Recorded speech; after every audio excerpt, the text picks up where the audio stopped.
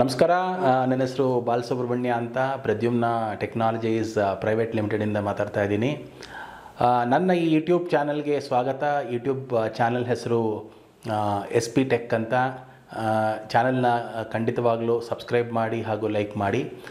ಈ ಚಾನಲಲ್ಲಿ ನಾವು ಇವತ್ತಿಂದ ಒಂದು ಹೊಸ ವಿಡಿಯೋ ಶೀರ್ಷಿಕೆಯನ್ನು ನಾವು ಶುರು ಮಾಡ್ತಾ ಇದ್ದೇವೆ. Especially for I T I students I T I students ಬೆನಿಫಿಟ್ಗೋಸ್ಕರ ಮಾಡ್ತಾ ಇದ್ದೇವೆ. ಈ ಮೊದಲನೇ ಶೀರ್ಷಿಕೆಯಲ್ಲಿ, ಆ ಸೇಫ್ಟಿ ವರ್ಕಿಂಗ್ ಪ್ರಾಕ್ಟೀಸಸ್ ಅಂದರೆ ನಾವು ಕೆಲಸದಲ್ಲಿ ನಾವು ಪಾಲಿಸಬೇಕಾದಂತಹ ಒಂದು ಒಂದೆರಡು ಸುರಕ್ಷತೆ ಅಭ್ಯಾಸಗಳು, ಅದರಲ್ಲಿ ಪ್ರಮುಖವಾಗಿ ವಿದ್ಯುತ್ ಸುರಕ್ಷತೆ ಬಗ್ಗೆ ನಾವು ಇವತ್ತು ತಿಳಿದುಕೊಳ್ಳೋಣ. ಇದನ್ನು ಈ computer operator and programming assistant ಅನ್ನೋ ಟ್ರೇಡಲ್ಲಿ ಮೊದಲನೇ ಸೆಮಿಸ್ಟ್ರಲ್ಲಿ ಇದೆ. ಸೊ ಇವತ್ತಿನ ದಿನ ನಾವು ಈ ವಿದ್ಯುತ್ ಸುರಕ್ಷತೆ ಬಗ್ಗೆ ನಾವು ತಿಳ್ಕೊಳ್ಳೋಣ. ಮೊದಲನೇದಾಗಿ ನಾನು ಏನು ಮಾಡ್ತೀನಿ ಅಂದರೆ ನಿಮಗೆ ಈ ಕ್ಲಾಸಿನ ಒಂದು ಅಜೆಂಡಾ ಅನ್ನೋ ನಾನು ನಿಮಗೆ ಹೇಳ್ಬಿಡ್ತೀನಿ. ಅಜೆಂಡಾ ಅಂದರೆ ನಾವು ಈ ಕ್ಲಾಸ್ನಲ್ಲಿ ಏನೇನು ಕವರ್ ಮಾಡ್ತೀವಿ. ಅಲ್ಲಿ ನೋಡಿ ನೀವು ಪವರ್ ಪಾಯಿಂಟಲ್ಲಿ ನೋಡ್ತಾ ಇದ್ದೀರಾ ಟಾಪಿಕ್ ಅಥವಾ ವಿಷಯ ಎಲೆಕ್ಟ್ರಿಕಲ್ ಸೇಫ್ಟಿ ಎಲೆಕ್ಟ್ರಿಕಲ್ ಸೇಫ್ಟಿ ಅಂದರೆ ವಿದ್ಯುತ್ ಸುರಕ್ಷತೆ. ವಿದ್ಯುತ್ತನ್ನು ನೀವು ಸರ್ವೇ ಸಾಮಾನ್ಯ ಬಳಸ್ತಾನೆ ಇರ್ತೀರಾ ಮನೆಯಲ್ಲೂ ಬಳಸ್ತೀರಾ, ಆಫೀಸಲ್ಲೂ ಬಳಸ್ತೀರಾ? ಆದರೆ ಈ ವಿದ್ಯುತ್ ಅಘಾತವಾದಾಗ ಅಥವಾ ಈ ವಿದ್ಯುತ್ತಿನಿಂದ ಅಪಘಾತವಾದಾಗ ನಾವು ಯಾವ ರೀತಿ ಮುನ್ನೆಚ್ಚ, ಮುನ್ನೆಚ್ಚರಿಕೆ ಕ್ರಮಗಳನ್ನು ತಗೋಬೇಕು ಹಾಗೂ ಆ ವ್ಯಕ್ತಿಯನ್ನು ಯಾವ ರೀತಿ ನಾವು ಕಾಪಾಡಬೇಕು ಅನ್ನೋದನ್ನು ಈ ಕ್ಲಾಸ್ನಲ್ಲಿ ನಾವು ತಿಳ್ಕೊಳ್ಳೋಣ. ಆಬ್ಜೆಕ್ಟಿವಲ್ಲಿ ನಾನು ಕೊಟ್ಟಿದ್ದೀನಿ ನೋಡಿ how to rescue a person who is in contact with live wire ಅಂದರೆ ಯಾವುದೇ ಒಬ್ಬ ವ್ಯಕ್ತಿ ವಿದ್ಯುತ್ ಅಪಘಾತಕ್ಕೆ ಒಳಗಾದಾಗ ಆ ವ್ಯಕ್ತಿಯನ್ನು ನಾವು ಯಾವ ರೀತಿ ಕಾಪಾಡಬೇಕು, ಅವನು ನನ್ನ ಪ್ರಾಣಾಪಾಯದಿಂದ ಯಾವ ರೀತಿ ನಾವು ಪರಿಹರಿಸಬೇಕು ಅನ್ನೋದನ್ನು ಈ ಕ್ಲಾಸಿನಲ್ಲಿ ತಿಳ್ಕೊಳ್ಳೋಣ. ಮೊದಲನೇದಾಗಿ ಸ್ನೇಹಿತರೆ, ನಾವು ಏನು ತಿಳ್ಕೊಬೇಕಪ್ಪ ಅಂದರೆ, ಈ ಎಲೆಕ್ಟ್ರಿಕ್ ಶಾಕ್ ಅಂದರೆ ಏನು? ನೀವು ಕೇಳಿ ಕೇಳಿರ್ತೀರ, ಓ, ಅವನಿಗೆ ಶಾಕ್ ಹೊಡಿತು. ಎಲೆಕ್ಟ್ರಿಕ್ ಶಾಕ್ ಅಂದರೆ ಏನು? When the electricity runs through your body ನಿಮ್ಮ ದೇಹದಲ್ಲಿ ಎಲೆಕ್ಟ್ರಿಸಿಟಿಯ ಚಲನವಾದಾಗ ಅಥವಾ ನಿಮ್ಮ ದೇಹದಲ್ಲಿ ವಿದ್ಯುತ್ತನ ಚಲನವಾದಾಗ ಅದನ್ನು ನಾವು ಎಲೆಕ್ಟ್ರಿಕ್ ಶಾಕ್ ಅಂತ ನಾವು ಕರಿತೇವೆ. ಸೊ ಎಲೆಕ್ಟ್ರಿಕ್ ಶಾಕ್ ಯಾಕಾಗತ್ತೆ? ಯಾಕಾಗತ್ತೆ ಅಂದರೆ ನೀವು ಯಾವುದೇ ಆದಂತಹ ಒಂದು ಸುರಕ್ಷಿತವಾದ ಅಭ್ಯಾಸವನ್ನು ನೀವು ಪಾಲನೆ ಮಾಡ್ತಿರಲ್ಲ. ಆದ್ದರಿಂದ ನಾವು ಅದನ್ನು ಆ ಕಾರಣದಿಂದಾಗಿ ಎಲೆಕ್ಟ್ರಿಕ್ ಶಾಕ್ ಆಗುತ್ತೆ. ಸೊ ಎಲೆಕ್ಟ್ರಿಕ್ ಶಾಕ್ ಅಂದರೆ ಏನು? ನಮ್ಮ ದೇಹದಲ್ಲಿ ವಿದ್ಯುತ್ ಹರಿದಾಗ ಅದನ್ನು ವಿದ್ಯುತ್ ಅಘಾತ ಅಂತ ನಾವು ಕರಿತೇವೆ. ಅಲ್ಲಿ ನಾನೊಂದು ಒಂದು ಸಣ್ಣ ಚಿತ್ರವನ್ನು ಕೂಡ ಕೊಟ್ಟಿದ್ದೇನೆ. ಆ, ಆ ವ್ಯಕ್ತಿಗೆ ಎಲೆಕ್ಟ್ರಿಕ್ ಶಾಕ್ ಆಗಿರೋದನ್ನು ನೀವು ಅಲ್ಲಿ ನೋಡಬಹುದು. ಆದರೆ ಒಂದು ವಿಷಯ ನೀವು ಏನು ತಿಳ್ಕೋಬೇಕು ಅಂದರೆ ಎಲ್ಲ ಎಲೆಕ್ಟ್ರಿಕ್ ಅಘಾತ, ಎಲ್ಲ ಎಲೆಕ್ಟ್ರಿಕ್ ಅಪಘಾತಗಳು ಅದು ಪ್ರಾಣಕ್ಕೆ ಆಪತ್ತನ್ನು ತಂದುಕೊಡುವಂತಹ ಅಘಾತಗಳು ಆಗೋದಿಲ್ಲ. ಯಾಕೆಂದರೆ ಆ ಆ ಅಘಾತ ಯಾವ ರೀತಿ ನಮಗೆ ಕೆಡಕನ್ನು ಮಾಡುತ್ತೆ ಅನ್ನೋದನ್ನು ಅದರ ತೀವ್ರತೆ ಅಥವಾ ಅದರ ಮೇಲೆ ನಾವು ಡಿಪೆಂಡ್ ಆಗಿರುತ್ತೆ. ಅದನ್ನು ನಾವು ಲೆವೆಲ್ ಅಂತ ಕರಿತೀವಿ. ಅಲ್ಲಿ ನೋಡಿ ನಾನು ಬರೆದಿದ್ದೇನೆ. The severity of electric shock will depend on the level ಅಂದರೆ ನಮ್ಮ ಒಂದು ಆ ಎಲೆಕ್ಟ್ರಿಕ್ ಶಾಕಿನ ತೀವ್ರತೆ ಅಥವಾ ಅದರ ಲೆವೆಲ್ ಮೇಲೆ ನಮಗೆ ಅದರಿಂದ ಯಾವ ರೀತಿ ದುಷ್ಪರಿಣಾಮಗಳು ಆಗಬಹುದು ಅನ್ನೋದನ್ನು ಡಿಪೆಂಡ್ ಆಗಿರುತ್ತೆ. ಇವಾಗ ನೀವು ಸರ್ವೇ ಸಾಮಾನ್ಯವಾಗಿ ನಿಮ್ಮ ಮನೆಯಲ್ಲಿ ಈ ಟಾರ್ಚ್ ಸೆಲ್ಗಳನ್ನು ಉಪಯೋಗಿಸ್ತಾ ಇರ್ತೀರ? ಬ್ಯಾಟ್ರಿ ಸೆಲ್ನ ಉಪಯೋಗಿಸ್ತಾ ಇರ್ತೀರ? ಆ ಬ್ಯಾಟ್ರಿ ಸೆಲ್ಲಿನಲ್ಲಿ ಜಾಸ್ತಿ ಆದಂತಹ ಒಂದು ಎಲೆಕ್ಟ್ರಿಸಿಟಿ ಇರಲ್ಲ ವೋಲ್ಟೇಜ್ ಇರಲ್ಲ ಅದನ್ನು ನೀವು ಕೈಯಲ್ಲಿ ಹಿಡಿದುಕೊಂಡಾಗ ನಿಮಗೆ ಯಾವ ರೀತಿಯಾದಂತಹ ಎಲೆಕ್ಟ್ರಿಕ್ ಶಾಕ್ ಬರಲ್ಲ. ಅದೇ ನೀವು ಪಕ್ಕದಲ್ಲಿ ನಾನು ನಿಮ್ಮ ಇನ್ನೊಂದು ಪಿಕ್ಚರಲ್ಲಿ ತೋರಿಸ್ತಾ ಇದ್ದೆ ನೋಡಿ, ಅಲ್ಲಿ ಅಲ್ಲಿ ಒಂದು ತ್ರೀ ಪಿನ್ ಸಾಕೆಟ್ ಇದೆ. ಇದನ್ನು ಕೂಡ ನೀವು ಬಳಸ್ತಾನೆ ಇರ್ತೀರ? ಇದನ್ನು ನೀವು ಟಿ ವಿಗಾಗಲಿ ಅಥವಾ ನಿಮ್ಮ ಮನೇಲಿರೋ ಐರನ್ ಬಾಕ್ಸ್ ಇಸ್ತ್ರಿ ಪೆಟ್ಟಿಗೆಗಾಗಲಿ ಅಥವಾ ರೆಫ್ರಿಜರೇಟರ್ಗಾಗಲಿ ಇದನ್ನು ನೀವು ಯೂಸ್ ಮಾಡ್ತಾನೆ ಇರ್ತೀರ? ಇದರಲ್ಲಿ ಏನಾದರೂ ನೀವು ಬೈ ಚಾನ್ಸ್ ಏನಾದರೂ ಕೈಯನ್ನಿಟ್ಟು ಅಥವಾ ಅದರಿಂದ ನಿಮಗೆ ಏನಾದರೂ ವಿದ್ಯುತ್ ಅಗಾಧ ಆದರೆ ಅದರಿಂದ ದುಷ್ಪರಿಣಾಮಗಳು ಆಗೋದು ಬಹಳ ಖಂಡಿತವಾಗಿರುತ್ತದೆ. ಆದ್ದರಿಂದ ನಮ್ಮ ಮೇಲೆ ಆ ವಿದ್ಯುತ್ ಅಗಾಧದ ದುಷ್ಪರಿಣಾಮ ಯಾದ್ರ ಮೇಲೆ ಡಿಪೆಂಡ್ ಆಗಿರುತ್ತೆ ಅಂದರೆ ಆ ವಿದ್ಯುತ್ತಿನ ತೀವ್ರತೆ ಮೇಲೆ ಅದು ಡಿಪೆಂಡ್ ಆಗಿರುತ್ತೆ. ಇವಾಗ ಮುಂದೆ ಕೆಲವೊಂದು ವಿಷಯಗಳನ್ನು ನೋಡ್ಕೊಳ್ಳೋಣ ಬನ್ನಿ.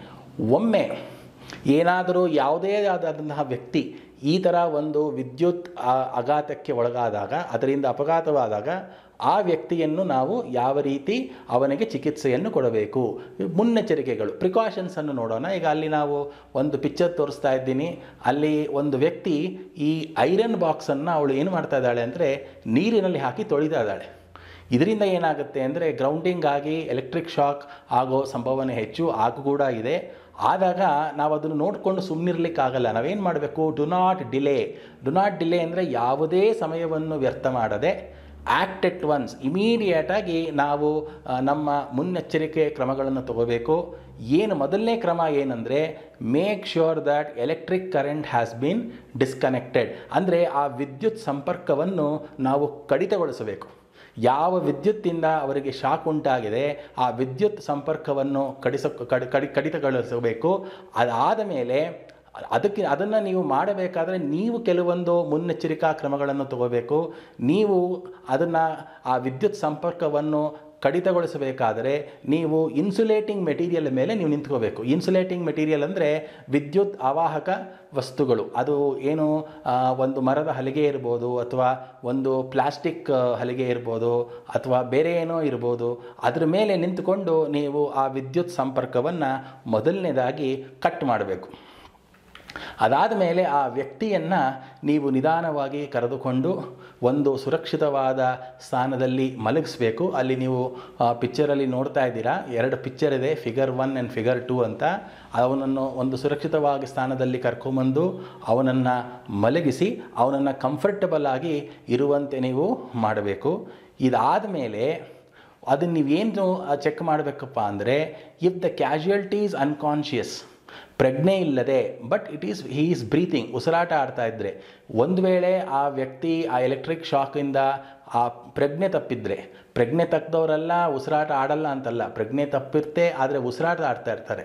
ಅಂಥವ್ರಿಗೆ ನೀವು ಯಾವ ರೀತಿ ಚಿಕಿತ್ಸೆ ಕೊಡಬೇಕಪ್ಪ ಅಂದರೆ loosen the clothing about the neck chest and waist ಅಂದರೆ ಅವನ ಅವನ ಶರ್ಟಿನ ಕಾಲರ್ ಭಾಗದಲ್ಲಿ ಆ ಬಟನ್ಗಳನ್ನು ಸ್ವಲ್ಪ ಲೂಸ್ ಮಾಡಿ ಚೆಸ್ಟನ್ನು ಚೆಸ್ಟಿನ ಬಟನ್ಗಳನ್ನು ಸ್ವಲ್ಪ ಲೂಸ್ ಮಾಡಿ, ಹಾಗೂ ಅವನ ಪ್ಯಾಂಟ್ ಬೆಲ್ಟ್ ಏನಾದ್ರು ಹಾಕ್ಕೊಂಡಿದ್ರೆ ಆ ಬೆಲ್ಟನ್ನು ಸ್ವಲ್ಪ ಲೂಸ್ ಮಾಡಿ, ಅವನನ್ನು ಕಂಫರ್ಟಬಲ್ ಆಗಿ ಮಲಗಿಸ್ಬೇಕಾಗತ್ತೆ. ಇದು ಮೊದಲನೇ ಒಂದು ಮುನ್ನೆಚ್ಚರಿಕಾ ಕ್ರಮ ಹಾಗೂ ತುರ್ತು ಚಿಕಿತ್ಸೆಯನ್ನು ನೀವು ಕೊಡಬೇಕಾಗತ್ತೆ. ಆಮೇಲೆ ಪ್ಲೇಸ್ ದ ಕ್ಯಾ ಕ್ಯಾಶುಯಾಲಿಟಿ ಅಪಘಾತಕ್ಕೆ ತುತ್ತಾದ ವ್ಯಕ್ತಿ ಇನ್ ದ ರಿಕವರಿ ಪೊಸಿಷನ್ ಆ ಆ ವ್ಯಕ್ತಿ, ಯಾವ ವ್ಯಕ್ತಿ ಈ ವಿದ್ಯುತ್ ಅಘಾತದಿಂದ ಅಪಘಾತಕ್ಕೆ ಈಡಾಗಿದ್ದಾನೆ, ಅಂತಹ ವ್ಯಕ್ತಿಯನ್ನು ನೀವು ರಿಕವರಿ ಪೊಸಿಷನ್ಗೆ ತೊಗೊಂಬರಬೇಕು. ಈ ರಿಕವರಿ ಪೊಸಿಷನ್ ಅನ್ನೋದು ತುಂಬ ಇಂಪಾರ್ಟೆಂಟು ರಿಕವರಿ ಪೊಸಿಷನ್ ಅಂದ್ರೇನು? ಚೇತರಿಕೆ ಸ್ಥಾನ. ಅದು ಏನು? ಆ ಚೇತರಿಕೆ ಸ್ಥಾನ ಹೇಗಿರುತ್ತೆ ಅನ್ನೋದನ್ನು ನಾನು ಮುಂದಿನ ಸ್ಲೈಡಲ್ಲಿ ತೋರಿಸ್ತೀನಿ. ಬನ್ನಿ ನೋಡೋಣ ಅದನ್ನು. ಚೇತರಿಕೆ ಸ್ಥಾನ ಏನಂದರೆ ಆ ಚೇತರಿಕೆ ಸ್ಥಾನ ಹೀಗಿರುತ್ತೆ.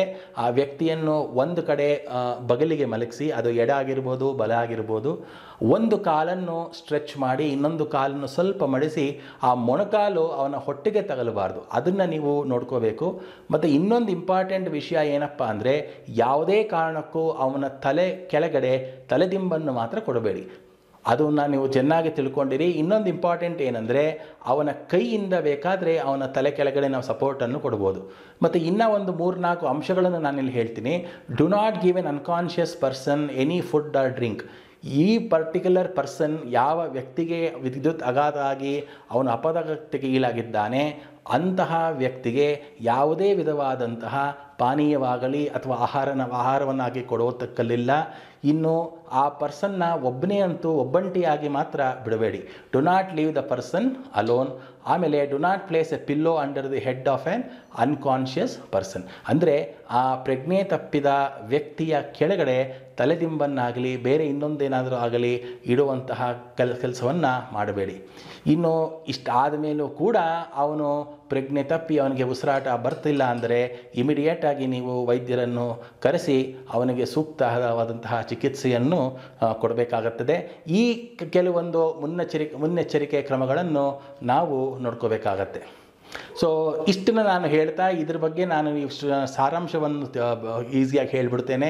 ಇದು ಏನೇನು ಕಲ್ತ್ವಿ ನಾವು? ಎಲೆಕ್ಟ್ರಿಕ್ ಸೇಫ್ಟಿ ಬಗ್ಗೆ ಕಲ್ತ್ವಿ, ವಿದ್ಯುತ್ ಸುರಕ್ಷತೆ ಬಗ್ಗೆ ನಾವು ಕಲ್ತ್ವಿ. ವಾಟ್ ಈಸ್ ಎಲೆಕ್ಟ್ರಿಕ್ ಶಾಕ್ ಅಂದರೆ ವಿದ್ಯುತ್ ಅಘಾತ ಅಂದರೆ ಏನು? ಇದ್ರ ಬಗ್ಗೆ ನಾವು ತಿಳ್ಕೊಂಡ್ವಿ. ಆಮೇಲೆ ಅಘಾತದ ಬಗ್ಗೆ ಸಿವಿಯರಿಟಿ ತುಂಬ ಇಂಪಾರ್ಟೆಂಟು ಅಂದರೆ ಆ ಅಘಾತದ ಪರಿಣಾಮಗಳು ಯಾವುದ್ರ ಮೇಲೆ ಡಿಪೆಂಡ್ ಆಗಿರುತ್ತೆ ಅಂದರೆ ತೀವ್ರತೆ ಮೇಲೆ ಡಿಪೆಂಡ್ ಆಗಿರುತ್ತೆ. ಆಮೇಲೆ ಕೆಲವೊಂದು ಪ್ರಿಕಾಷನ್ಸ್ ಕೂಡ ನಾವು ನೋಡಿದ್ವಿ. ಮುನ್ನೆಚ್ಚರಿಕೆ ಕ್ರಮಗಳನ್ನು ನೋ ನಾವು ನಾವು ನೋಡಿದ್ವಿ. ಧನ್ಯವಾದಗಳು ಈ ಸೆಷನ್ನ ನೀವು ನೋಡಿದ್ದಕ್ಕೆ ನಾನು ಮತ್ತೆ ನಿಮ್ಮನ್ನ ಮುಂದಿನ ಸೆಷನ್ನಲ್ಲಿ ಭೇಟಿ ಮಾಡ್ತೀನಿ. ಇನ್ನಷ್ಟು ವಿಷಯಗಳನ್ನು ನಾವು ತಿಳ್ಕೊಳ್ಳೋಣ.